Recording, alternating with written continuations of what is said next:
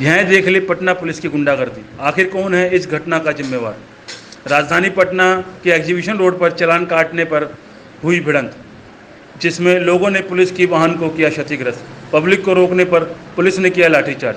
पहले तो लोग ट्रैफ़िक पुलिस से उलझ गए। सूचना मिलने पर तुरंत तीन थानों की पुलिस पहुँच गई। तो वहीं पथराव कर रहे लोगों को रोकने के लिए पुलिस ने भी लोगों पर लाठियाँ भांजी हालाँकि बात यह है कि हमारे परिवहन मंत्री ने नया ट्रैफ़िक नियम लागू किया है। और उसके बाद काफ़ी ज़्यादा मात्रा में लोगों को फाइन देना पड़ रहा है। नए ट्रैफ़िक कानून ने राजधानी में जगह जगह ट्रैफ़िक चेकिंग अभियान चलाया जा रहा है। वाहन चेकिंग के नाम पर पटना पुलिस कर रही है दिन दिहाड़े दादागिरी। चाहे कोई महिला भी क्यों ना हो, पुलिस गालियों से कर रही है बात। फिर क्या था?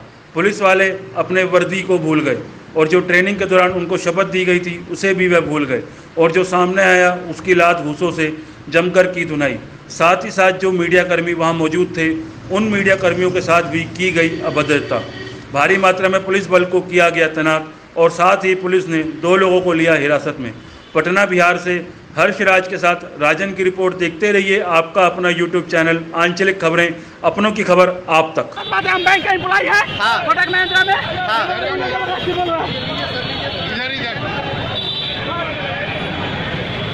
क्या हुआ? कहाँ से आप थे क्या हुआ? ये लोग ज़बरदस्ती मेरे पे आरोप लगा रहे हैं कि आप है। है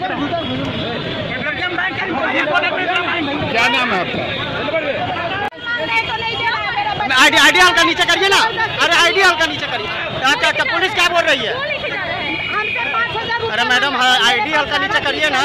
लगाओ यार ID। पाँच हज़ार रुपया मांगा हम बोले सर किस बात का तो नहीं मेरा डीएल लेके रख लिया जब मांगे मेरा बच्चा लोग आया घर से सुनने के बाद कि हम डॉक्टर के यहाँ जा रहे रहा है आखिर ऐसा क्यों किया जा रहा? है। गाली से बात करता है। कौन गाली से बात करता है? पुलिस।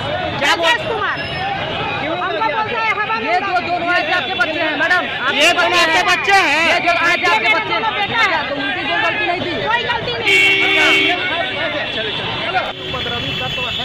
सर मीडिया कर्मी को भी निशाना बनाया गया है। हाँ ऐसा तो भीड़ में हो सकता है, क्योंकि भीड़ में मीडियाकर्मी भी थे और उसमें पुलिसकर्मी भी थे।